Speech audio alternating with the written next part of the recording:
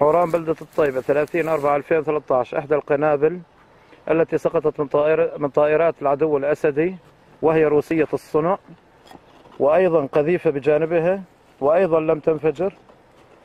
وها هي الكتابة واضحة. روسية الصنع.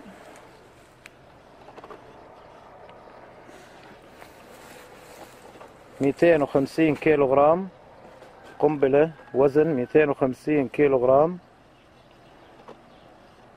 وهي الكتابة الروسية واضحة عليها.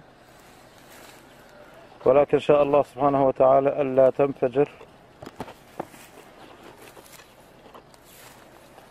وكانت بردا وسلاما. حسبنا الله ونعم الوكيل.